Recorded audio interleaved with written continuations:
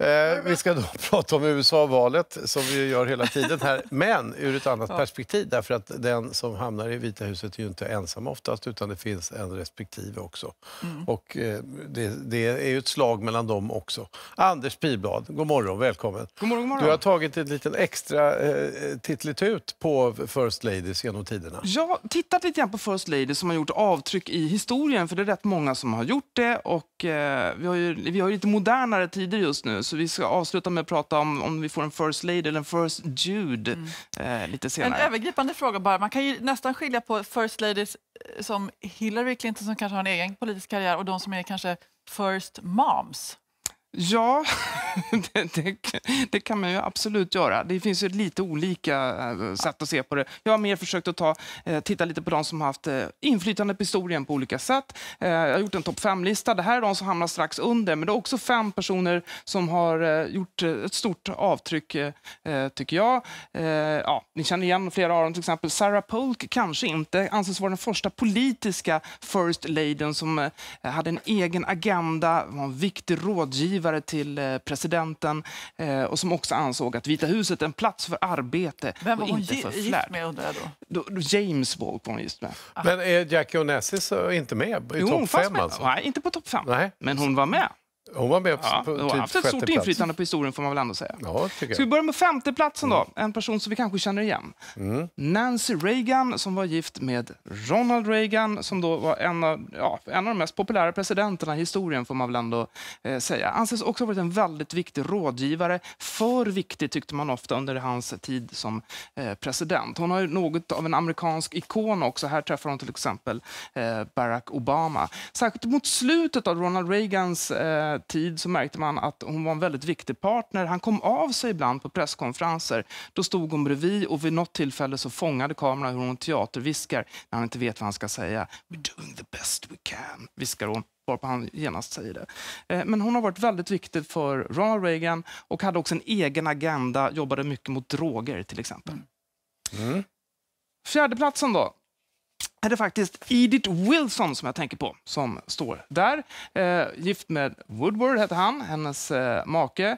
Och, eh, de gifte sig 1915. Året innan hade han blivit eh, enkling och då behövde han ju någon, för han blev, han blev så oerhört deprimerad. Så att hans kusin introducerade honom till Edith. Som, det var var det inte eh, bättre än att han fick en stroke några år senare. Under ett års tid var han i princip i sängen hela tiden. Var det hon då som styrde landet eller? Det kan man säga. Många menar i varje fall det. Hon anses, ibland brukar man prata om henne som den första kvinnliga presidenten, för det var hon som bestämde vilka han fick eh, träffa under den tiden. Sen har vi då Michelle Obama. Hon har ju varit oerhört populär. Även när Barack Obama haft sina eh, dippar, för han har haft ganska många under karriären, så har hon hela tiden varit väldigt populär. Och under det senaste året så har hon ju riktigt, riktigt slagit igenom kan man säga. Hon har hållit egentligen tre viktiga tal på konventet. Nu häromveckan när hon angrep Trump, ett sånt där tal som alla talar om. Och sen ett tredje tal under Republikanernas eh, konvent. Fast då var det Melania Trump som höll ett tal, fast det var då kopierat ett av hennes gamla. Men eh, det pågår ju en internetkampanj just nu att hon ska eh, ställa upp i någon kommande valkampanj. Ja, också. precis. Och det är ju nästan såna vibbar man får. Och tittar man på sociala medier så är det massor av hyllningar. Men jämför man henne med Hillary Clinton till exempel så har hon aldrig riktigt haft den politiska ambitionen. Men hon är ju som en duktig Jag visste inte att de hade varit med i Let's Dance. Nej, men det här Nej. var faktiskt när de var i Argentina. De har ju inte tränat i alla fall, det ser man. Men du visste Alla ju... gillar henne, till och med George W Bush. Alla vill vara med henne. Ja. Men du visste ju att hon inte skulle bli eh, president. Ja, det är ett sånt där berömt Ja. uttalande från Obama att eh, ja, det enda man vet eh, lika säkert som döden och skatterna det är att Michelle aldrig kommer att ställa upp i en presidentvalskampanj. Ja. På andra plats då, någon vi känner till väl. Här har vi den, Hillary Clinton.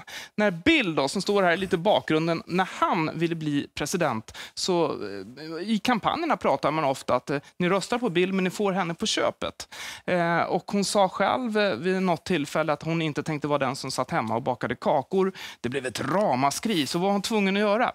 Släppa hem en tidning som plåtade henne när hon bakade kakor. Sen så gavs First Ladies Best Cookies eh, recipes Det är en svår ut. roll att balansera så. Du, får, ju- du måste ju Ja. också vara en, en förebild för alla stay at home moms i USA och baka Ja. kakorna och hämta på hockeyträning. Utan Hillary så hade Bill aldrig blivit president och utan Bill hade väl kanske inte Hillary heller haft eh, någon chans att bli det. I slutet av hans presidentperiod då pratade man om skulle hon kanske bli senator, vilket hon senare blev.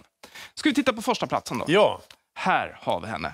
Eleanor Roosevelt, eh, som verkligen hade en egen politisk agenda, var inte bara vid sin eh, makes eh, sida, var FN-ambassadör, var ordförande för utskottet för mänskliga rättigheter i FN, var på sin tid en person som blev, fick sån enorm uppmärksamhet just för att hon hade en egen agenda. Jag ska bara visa en rolig bild som jag hittade på henne också, när hon här träffar våran gamle kung, Ah, Gustav hon står för ett av mina absoluta favoritcitat. No one can make you feel inferior without eh, your Nej. consent. Ja.